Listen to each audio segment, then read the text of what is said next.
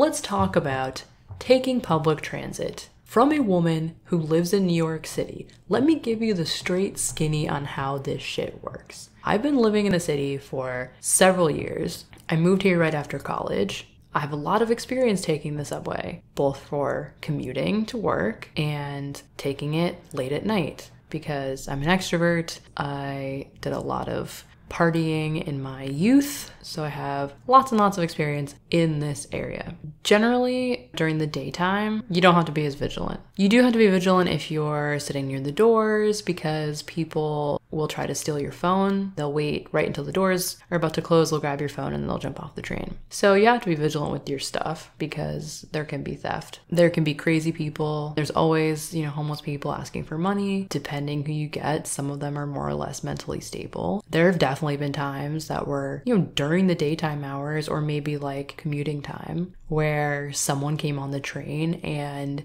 I either genuinely considered getting off the train and moving to another car, or I actually did do that because I was like, I don't know what this person's gonna do, and um, it's relatively easy for me to move to the next car, so uh, let's just do that. Now at night, the thing is that there's just generally less people on the train. So, like at night when I'm getting into a car, I generally will look to see who's in the cars as they are rolling up. I would prefer to get into a car that has other women in it, and I will kind of eye the guys that are sitting in a car if I'm gonna get in a car and it's all men. Doesn't mean that I won't get in the car if it's all men and it's me and it's two in the morning. Definitely will do that 100%.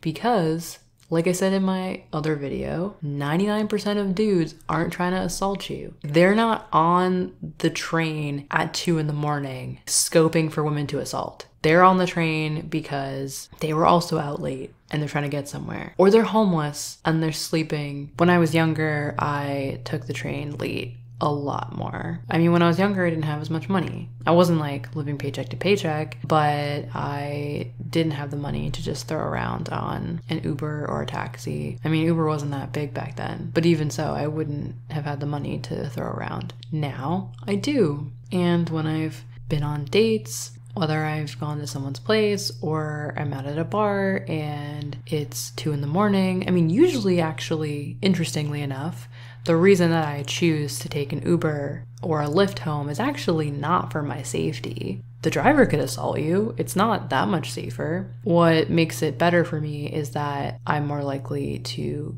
get home at a reasonable time. You know, it's already 2:30 in the morning and depending on what train, yes, the trains run all night in New York City, which is great, but they can take forever. You could miss the train by a minute and then you have to wait half an hour for the train and then it's still going to take you like half an hour on the train to get where you're going. So then you're looking at an hour versus if you took an Uber, you could be home in 20 minutes. For me, it's always about getting home as soon as possible so I get to sleep. So maybe I'm unusual in that respect. I don't know but I'm hyper aware when I'm taking the train at night of who is on the platform with me, who is in the train car with me, does anyone seem suspicious? Am I gonna need to move train cars at the next opportunity? I try to look tough, confident, body language that says fuck off. I don't carry myself like what I see other women do, like a prey animal, where they're just like looking around, looking unsure, etc., etc. There are definitely neighborhoods where like I won't go. Most neighborhoods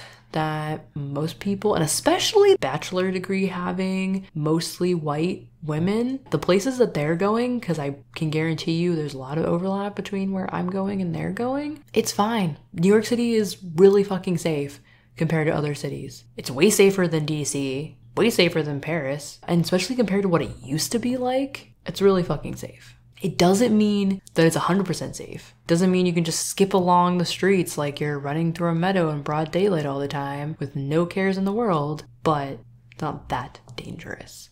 Honestly, most of the harassment that I've experienced in New York City was on the street catcalling. It was in lower income, working class neighborhoods. It's not like the kind of dudes that I've worked with, bachelor degree having like white collar guys who have harassed me. It's always lower income, working class, blue collar guys. The other day in Union Square, a man said something like, Has anyone told you how cute you look today? Which isn't really harassment, but like feminists would consider that to be harassment because, ugh, can't we just walk down the street without you trying to talk to us? It all adds up. It's just such a burden. How do I get through the day? What gives you the right to talk to me, you man? I usually just don't even notice it happening. He said it, and then I kind of, after the fact, turned and was like, Oh, you spoke words. I'm sorry. I'm looking for my friend. That's interesting. Why are you speaking to me? Mm, okay.